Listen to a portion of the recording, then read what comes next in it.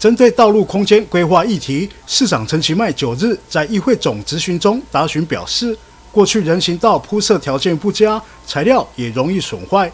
他调整了人行道的施作方式，以 PC 刷毛铺设，节省成本，并且也容易管理。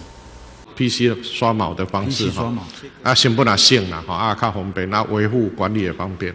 啊，所以你看，其实国外的一些例子来看哈。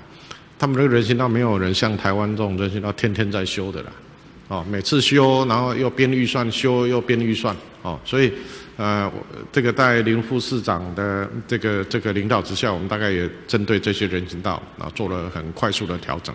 简单讲，过去让这几条，那就卖让这两条，哦，而且维护管这个费用要降低，所以我会根据刚刚蔡议员的这个建议，哈。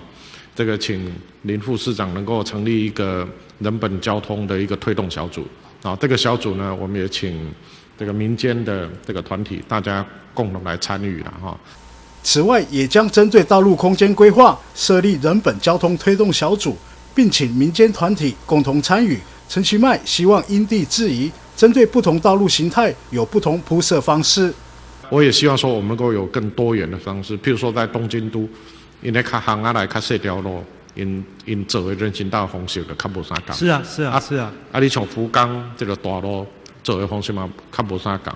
有的甚至人行道伊嘛是还是柏油的铺面。因地制宜但是对对，所以因地制宜。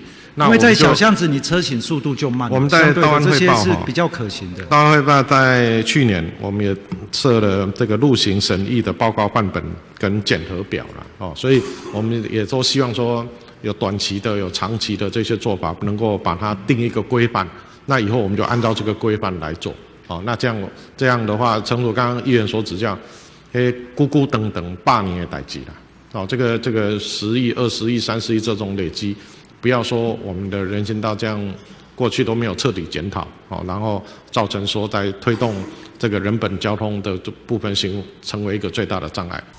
陈其迈表示，人本交通规划是长久计划、百年事业，各项计划与预算累积逐步推动，并持续检讨改进，来达成人本交通的目标。